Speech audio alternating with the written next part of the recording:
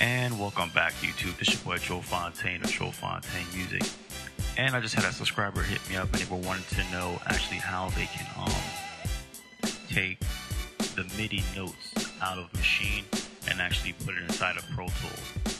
Uh, reason being, instead of just dragging and dropping the audio, they wanted to actually um, hear the sound actually while touching the notes when doing the editing to make the editing editing a lot easier. And you know, I can understand that. So I'm going to show you a quick workflow how you can get around that. So you actually can hear your MIDI notes when you're doing your editing, uh, but incorporating it with Maschine. It's pretty um, simple. The first thing you need to do is you need to open up one instrument track. As you can see right here, I have an instrument track that's labeled Maschine 1.7. Okay, so make sure in your inserts that you do have it so that you can see here the inserts because you're going to need this later, and I'll show you why. So when you open up Maschine like this, we basically want to get these notes over here on this instrument channel. So you've seen some of my previous tutorial, you know how that goes. What we need to do is go to sound and MIDI batch setup. We want to go sounds to MIDI notes, click apply. Okay. Over here, we want to make sure that we have the scene MIDI settings also set to MIDI note. Okay, now here's where it gets a little bit different. What we need to do is this is just a quick little uh, 8 bar loop. We touch this icon here, same as the drag to audio icon.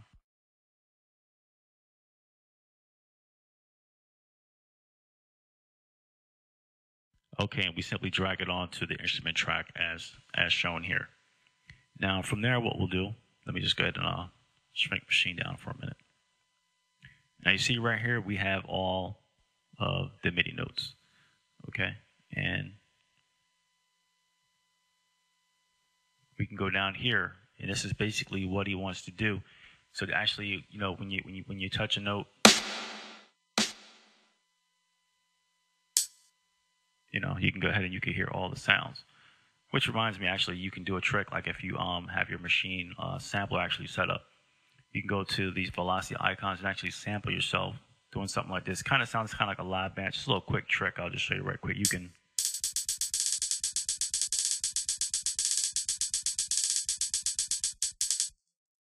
well, you know, it might be chopping up a little bit because I'm on the uh, the video recorder here. But uh, you can um, actually move this little icon here up and down and kind of get like some weird melodic notes, kind of like a real live drum player. But that's that's something completely different. Let's uh, go ahead and get back over here. All right. So anyway, um, okay, we need to go ahead and uh, adjust this here. Let me just go ahead and chop that extra garbage off. I thought I optimized the loop, but I guess I didn't. All right, eight bar loop. You track it out. What you do is you actually highlight the section like this here. What you want to do is you jump over here to event. Then we're going to go to event operations. This is where you'll find your quantize, your velocity, and stuff like that. And uh, I guess I guess what some people don't realize, you have a split MIDI notes icon here. Okay, so basically get to know this area because this, this is going to be your friend in the future. What you want to do is you want to select all notes. And from here, you want to select split notes in, in the action window. You got the, the, pitch criteria, and you have the action menu here. Go to split notes, make sure it's on cut. Over here, it says to the clipboard. No, you don't want that. Take that off. Add, or rather select a new track per pitch. And once this is all set up, you double check it and you click apply.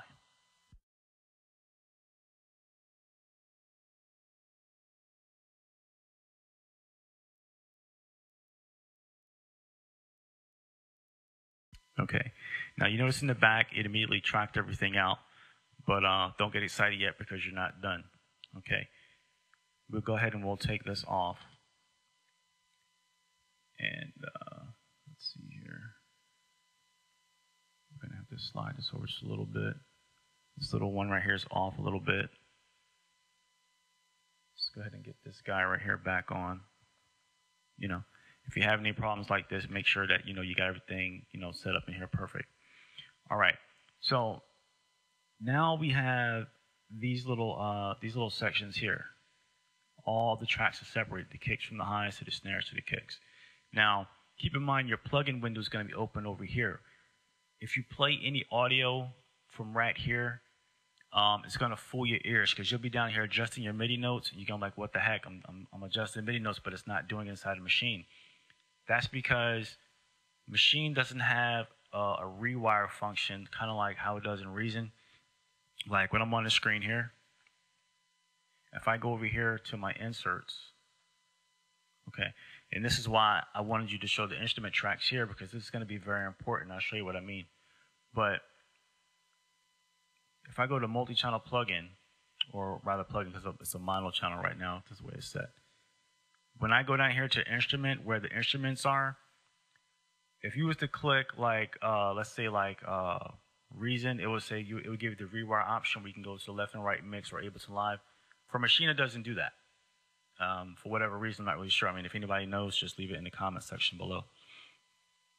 So um, these right here, they're gonna have to be in the middle because you're gonna want your sound optimized. I don't know why mine defaulted pan to the left or whatever. I think that was kind of weird. But anyway, you know, you know, you just you just get these set up so so that they're all perfect. I'm not gonna do the whole thing because what you're gonna have to do is you're gonna have to make multiple instances of Maschine on each one of these tracks, kind of how you would if you was routing audio from uh, Reason or um, Ableton Live. Okay.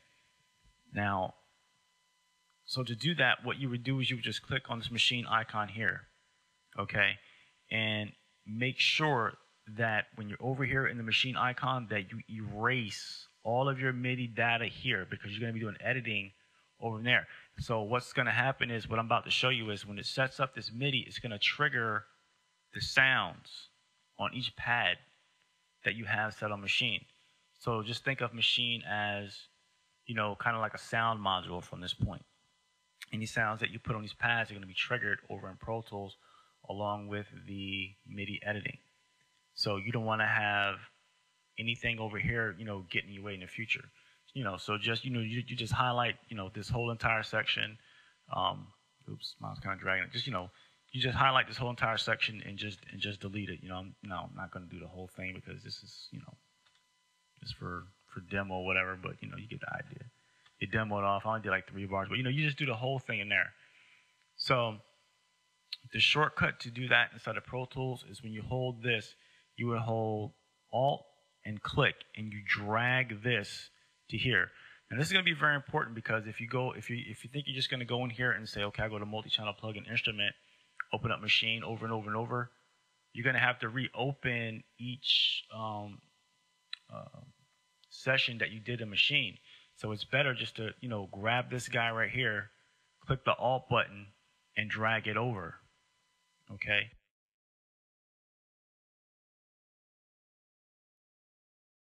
You're going to do is you're going to go back inside Maschine And where it says master group and sound, you're going to have to go back down here to where it says drum track. You're going to have to go back to your sound MIDI batch setups. Okay.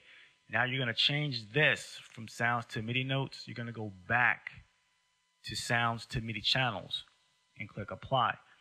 Reason being is because, again, we're going to be using Maschine as a sound module triggering the notes. Okay. If you don't do that, you're never going to get no sound to come out of it. It'll, it'll, it'll drive you up the wall. Trust me on that. So make sure you change that back. We're going to use Maschine as a sound module. Once you have that set, you're pretty much ready to rock. It's just more or less just duplicating this, this icon across these here. You know, I'm not going to do it right now because, again, I'm just, you know what, I'll just go ahead. Let, let me just go ahead and just do one for you right quick. Like that.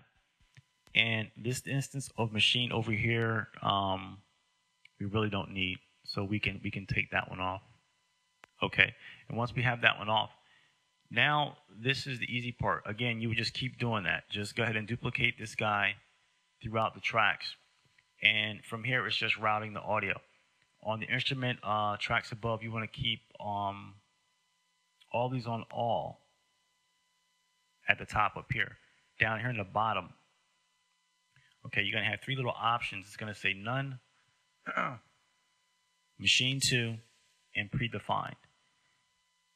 Channels 1 through 16, just think of these as the pads. Just think of channel 1 as pad 1. Think of channel 2 as pad 2. Channel 3 is pad 3. Channel 4 is pad 4, and so on and so on. You know, if you got 16 sounds, you got 16 different channels. So um, for this first sound, let's just go ahead and we'll choose, let's say channel two. Okay. And when you hit the play button, that sound's now going to trigger off. And you'll notice because you'll see the meters move over here. Like if I push the play button right now, now keep in mind I'm just estimating. I didn't go back to the, to the Maschine program, but one of those sounds is going to be um, triggered off down here. Watch.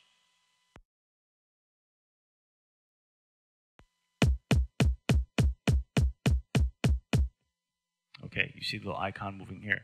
And just to give you a general idea of how that works, I'll go over here and I'll change it from Maschine 2. Let's go ahead and move it to, let's say, channel 3. And I'll just bring the transport over so I have to keep going crazy going back and forth. And let me show you the meter right quick. The meter moving, you know, and so on and so on. And that, that's basically how that's going to work. Every time you change that channel, it's going to trigger off a different sound. So eventually you're going to get all the sounds down here. Now, once your track is active, you know it's active. As you can see here, it went from a gray screen to the nice uh, vivid color screen as, as it's supposed to be. So you know you have everything routed correctly uh, once all these light up in a correct uh, color. They won't be grayed out the way that they're down here. This is from my Renaissance drum kit. Uh, you guys can come on my website, which is www.digitalmusic.yolasite.com, and um, come check out the site. We've made some improvements on the site. Um, you guys can come on there. You can um, click on the links for hot products. I'm going to be making a new um, a member option now. When you guys come on there, I'm going to, uh, you know, have a link. Well, not a link, but just an icon. For, you know, have the PayPal checkout assurance. You can just click on the member link for just $9.99. And what we'll do is we'll give you um, full member member access. Whereas people who are non-members, when they come on my site, when they buy drum kits and stuff like that, you know, they buy whatever they pay nine bucks, ten bucks for a drum kit. You wouldn't have to do that. You know, you just pay a one-time fee, and that, that's that's for life. It's a lifetime fee. It's no reoccurring charge. It's going to be nine ninety nine for the membership fee. You can come on there. You can get any drum kit free from that point, whether it's a drum kit, uh, whether it's an instrumental, anything like that. so I'm going to be setting that up. So so you know, come to my site, check on that. By the time you watch this video, I'll probably be working on it, and that option will be available soon. So the next um, couple of days, um, you might, you guys might want to come in there and check that out. You know, it's a good way to get a bunch of goodies for free, and I'm also going to be um, putting some some patches and stuff like that for structure and, and things of that nature. So you know, it's all to be included for free. So you know, you can't beat that. Ten bucks. Say, hey, ten bucks. You know, I get a, I get a lifetime subscription of, of free drum kits sounds, you know, and you know, and I'm always to be here, you know, doing the, uh, the uh, tutorials and stuff like that. So again, this is your boy Dro Fontaine of Dro Fontaine Muzick. Be sure to check me out on my webpage, which is www.digitalmusic.yolasite.com. I hope these little tips and um, tutorials helped you out as far as tracking your MIDI out inside of Reason. I'm, I'm sorry, inside of uh, Maschine. So um, that's pretty much it. I guess I'll see you guys in the next one.